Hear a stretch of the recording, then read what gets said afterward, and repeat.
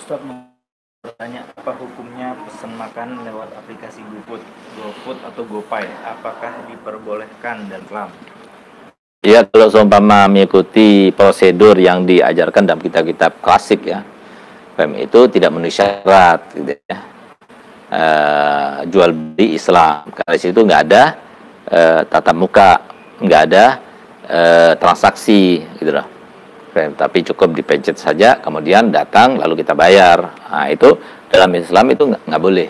Nah, kalau seumpama oh itu kan salam saat salam itu kan ada dalam Islam yaitu memesan makanan atau memesan apa yang kita inginkan lalu dia datang setelah beberapa saat. Nah itu bukan salam yang betul betul di dalam syariah karena kalau salam bentuknya itu uang mukanya itu uang rosmalnya itu harganya itu harus diserahkan dulu sebelum dia itu pergi.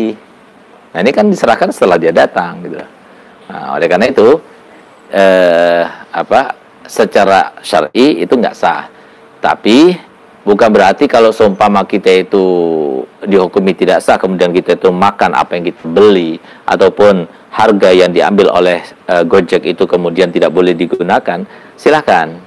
Cuma cara seperti itu itu tidak diridhoi Allah Taala karena tidak diridhoi atau tidak sesuai dengan prosedur yang diajarkan oleh ulama dalam Islam, maka biasanya penuh atau syarat dengan penipuan dan sebagainya gitu lah. Pasti ada ada akibat-akibatnya. Berbeda kalau soal kita itu beli langsung melihat barangnya, Fem, kita melihat kayak gimana bentuknya, berapa banyak orang yang beli secara online, baik itu di Grab ataupun GoFood dan sebagainya. Nah, ini tidak sesuai dengan seleranya. Kenapa? Karena dia itu mestinya seperti itu.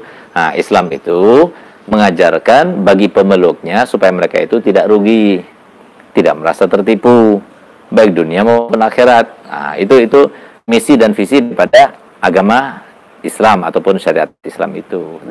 Nah, itu oleh karenanya maka tidak sah yang semacam itu ya.